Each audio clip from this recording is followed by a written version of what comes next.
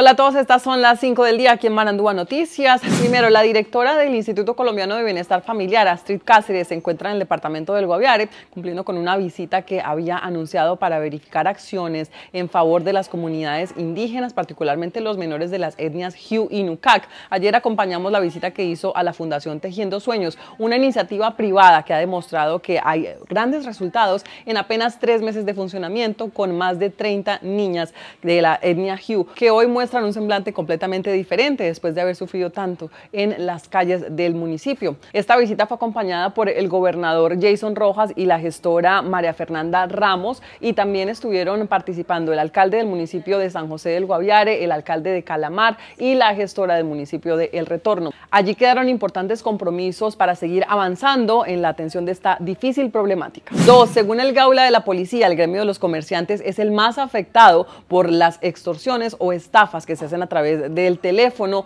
desde las cárceles en diferentes zonas del país. Estos delincuentes se hacen pasar por grupos armados ilegales y extorsionan a sus víctimas o las estafan pidiéndoles aportes voluntarios para la causa. También están advirtiendo a todos los comerciantes y a todos los habitantes del departamento del Guaviare de desconfiar de los mensajes sospechosos y esos mensajes que vienen con un link con el que usted da acceso o podría estar perdiendo la información que tiene en su dispositivo móvil y también en sus cuentas. Tres, y escuchando a la comunidad del sector de la trocha ganadera, la Secretaría de Obras Públicas del departamento realizó la intervención de uno de los pasos críticos. El secretario Óscar Ospina se comprometió a continuar con estos mantenimientos de manera aislada o en esos pasos donde se van desgastando para mantener la movilidad por esta vía tan importante para esa región productiva. Cuatro, en una jornada de labor social, un grupo de internos de la cárcel del municipio de San José del Guaviare realizaron la intervención y el mejoramiento de la vía en la carrera 24 con séptima. Allí el director de la cárcel, Jorge Iván Quirós,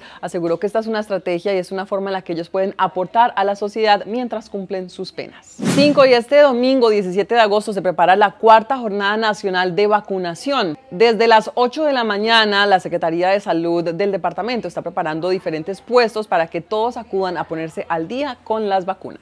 Estas y más noticias, consúltelas en la página web www.marandua.com.co. Aquí le informamos con responsabilidad.